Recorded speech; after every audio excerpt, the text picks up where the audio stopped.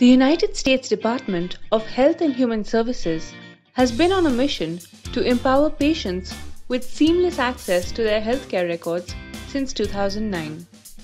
This was the year when EHR systems rendered paper based healthcare records obsolete. The need for interoperability in healthcare technology as we know it today soon followed the introduction of EHR systems. More than a decade later, the interoperability of EHR systems is set to be driven by USCDI, the United States Core Data for Interoperability.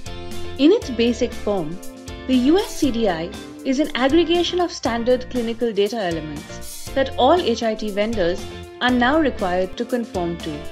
It represents the most granular level at which a piece of patient data is exchanged by HIT systems.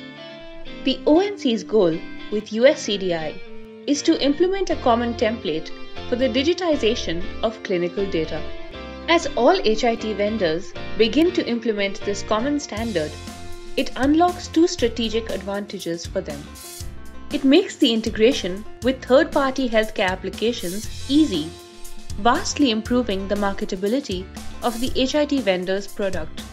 And it unlocks new possibilities to improve the continuum of care as costs of expensive integrations, custom at times, comes down significantly with everyone in the ecosystem adopting USCDI.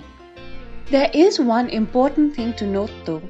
All CEHRT vendors must now conform to USCDI requirements since the release of the Cures Act final rule on May 1, 2020 mandates it.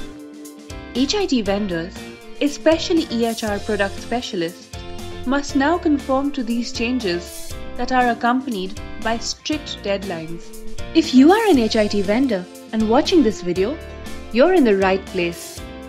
Stay tuned to our feed to know what changes await you for successful compliance.